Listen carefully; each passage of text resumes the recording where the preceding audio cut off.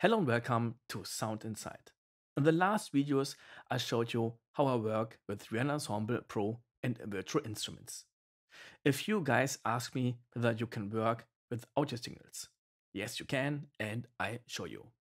I prepared a little piano sequence.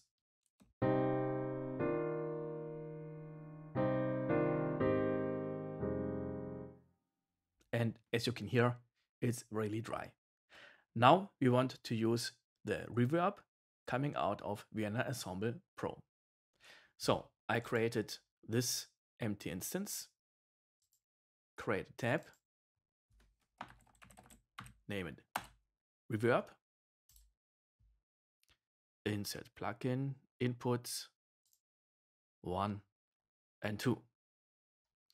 And now I want to use a classical one the Lexicon. Now I'm going to uh, the inserts, use Vienna Ensemble Pro Audio Input, and want to connect it to Reverb. But as you can see, there's nothing to choose. We got to use a little trick. We got to connect to Vienna Ensemble Pro. No, I don't want to create a MIDI track. Now we connect to Reverb.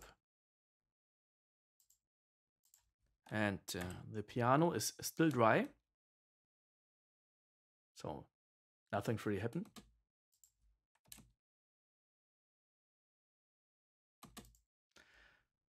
But now I can connect this one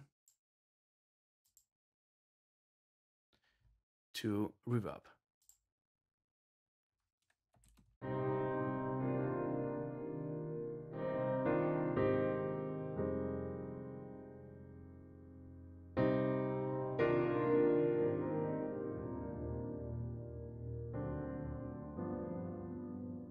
So the signal has been routed to the insert, getting to Vienna Ensemble Pro, to my Lexicon reverb, and back.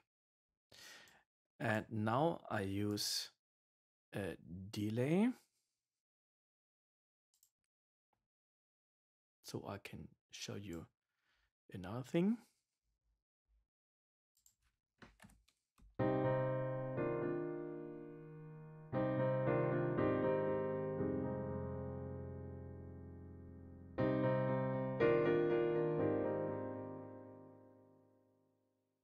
Now I change the tempo.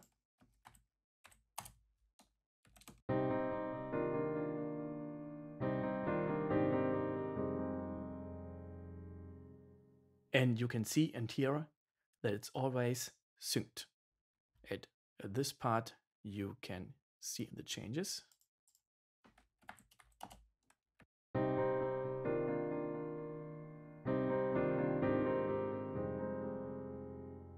So I can use um, plugins that I can't use in my DAW, or I can use 32-bit plugins, but my workstation is just using 64-bit plugins.